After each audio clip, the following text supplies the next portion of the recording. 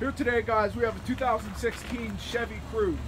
Now, as you can see, this is a real beautiful silver color. This car comes with wraparound headlights and taillights, keyless entry, and breakaway mirrors. Now, this car is perfect for any commuter that wants to save on gas mileage. Let's take a look at some of the stuff on the inside. In the back here, we have a lot of trunk space for a compact sedan. Now coming up to the back seats, as you can see, really comfortable cloth seating, plenty of legroom back here too. Now coming up to the front, real nice center console, AM FM radio, along with steering wheel controls. Now guys, these are just some of the features inside of this car. You really got to come down here to check it all out and get the real feel for it. Now guys, those were just some of the features on this car.